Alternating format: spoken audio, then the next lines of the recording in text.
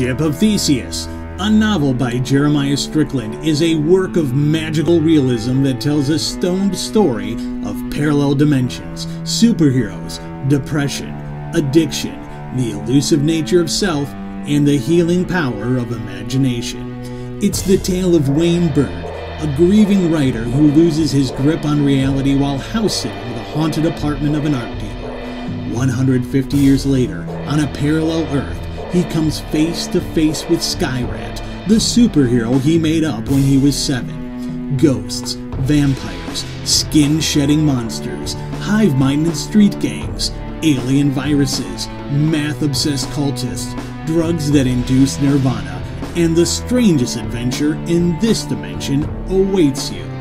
If you have quirky, tattooed literary folks in your life who love the boys on Amazon and might be a little stoned, this is the book they didn't know they needed.